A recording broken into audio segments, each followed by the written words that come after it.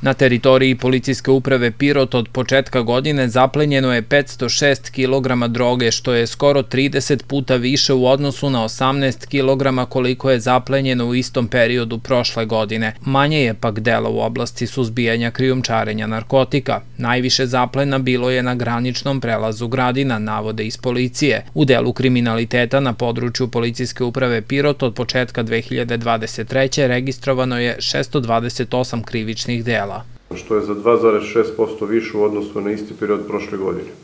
Registrovano je 140 krivičnih dela sa nepoznatim izvršiocima, od kojih je rasvetljeno oko 71%.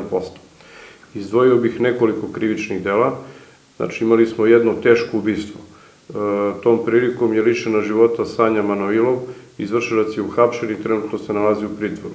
Imali smo jedno ubistvo gde je ubijen migrant od strane drugog migranta, koga smo identifikovali, ali, ali nam je trenutno nedostupan, nalazi se u inostranstvu, i jedan pokušaj ubistva, kojom prilikom je otac pokušao da ubije dete na taj način što, što mu je sipao kiselinu u usta i tom prilikom je izvršilac koji je inače pokušao i samoubistvo da izvrši nakon izlaska iz bolnice uhapšen i isproveden u tužilaštvu. Manje je prekršaj u oblasti narušavanja javnog reda i mira. Nije bilo težih oblika narušavanja javnog reda i mira, održan je stabilan javni red i mir i na javnim, okupljanjima, iako je njihov broj znatno veći. Imamo od 294 povećanja javnih okupljanja na 325.